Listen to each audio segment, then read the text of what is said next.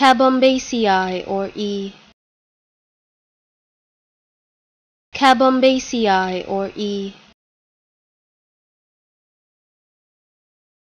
Cabombaceae or E.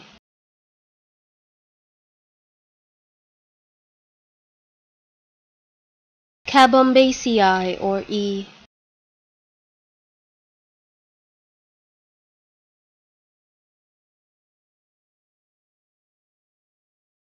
Cabombaceae or E.